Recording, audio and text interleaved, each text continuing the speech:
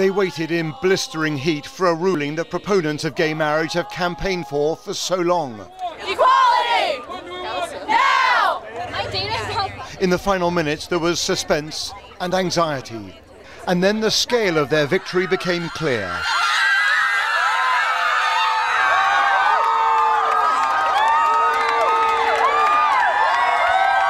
How big a moment is this for you? This is huge! This is this the civil rights moment of your generation? Yes! I am so proud to be an American right now, and that's not something that I say very often.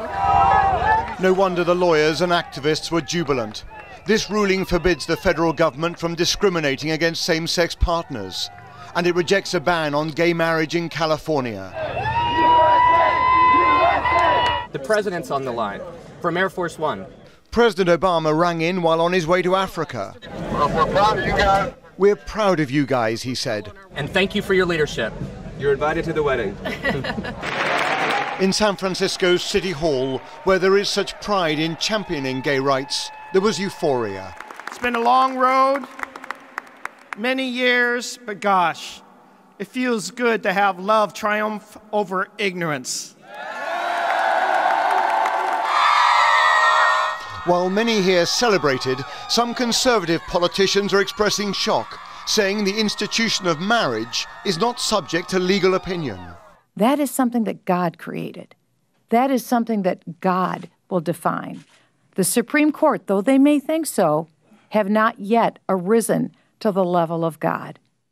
On both rulings, the justices split 5 4, so it was a narrow win. But on gay marriage, there is a clear sense across America the legal and political tide is turning. We are gay. We are American.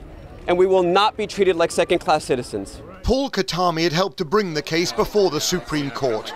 And with today's ruling, he could finally pose this question to his partner. So today is a good day. It's the day I finally get to look at the man that I love and finally say, Will you please marry me? This ruling does not make gay marriage legal across the United States, but it is a giant step in that direction, being hailed by people on both sides of the debate as truly historic. Robert Moore, ITV News, at the Supreme Court.